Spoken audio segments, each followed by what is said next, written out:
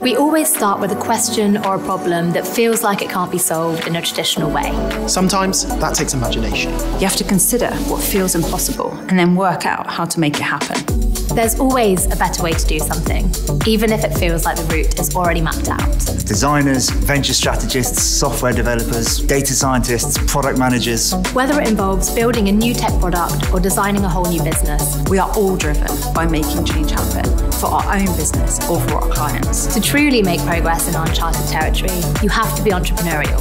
Take what you have and do more with it than you ever thought possible. It's a sort of relentless energy, the ability to keep learning and to keep adapting. It's about learning from those around us too. Because so many of the challenges we face can't be solved alone.